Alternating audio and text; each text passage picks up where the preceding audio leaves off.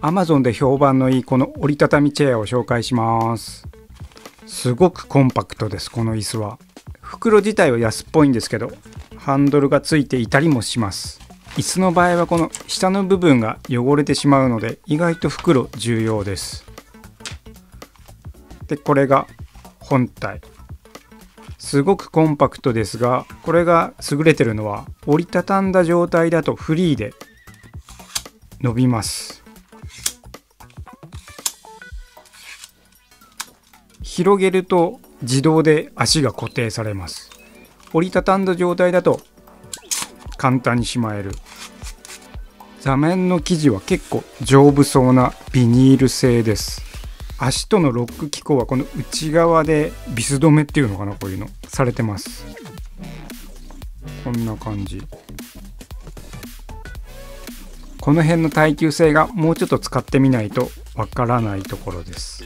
すごくコンパクトで今まで使ってた椅子がこのモンベルの26っていうちっちゃい椅子です。これはもう足がアルミ製で細いやつ。これはもう広げるだけ。座面が三角形でかなり小さい。足がこんな感じ。ちょっと汚れがつく足です。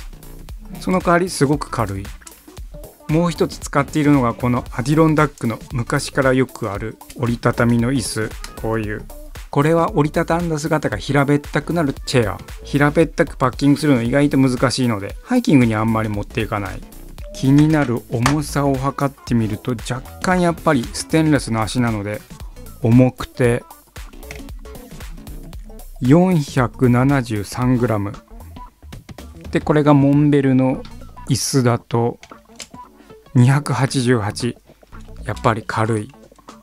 アディロンダックだと 577g アディロンダックよりかは軽いです。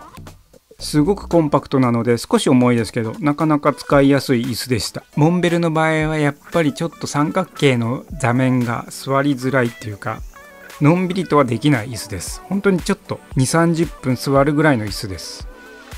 長さ的にはこれぐらい。やっぱり Amazon で評判のいい椅子の方がすごくコンパクトなんですがこちらの方が座った時に少しだけ高いのでリラックスして座ることができます。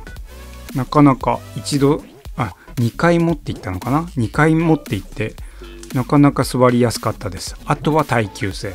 ちょうど今使ってる三脚とほぼ同じぐらいの収納サイズ。本日は Amazon で評判のいい折りたたみ椅子を紹介してみました。